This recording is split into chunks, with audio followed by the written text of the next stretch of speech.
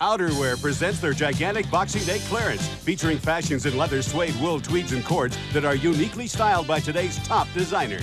Look great with a Leo Chevalier combination like this tastefully designed English lamb suede blouse and skirt. Only $149 for the blouse, $199 for the skirt. And this men's high-styled European look jacket, just $199. Don't miss Outerwear's gigantic Boxing Day clearance Wednesday, December 26th. Outerwear, 574 Seymour next to A&B Sound.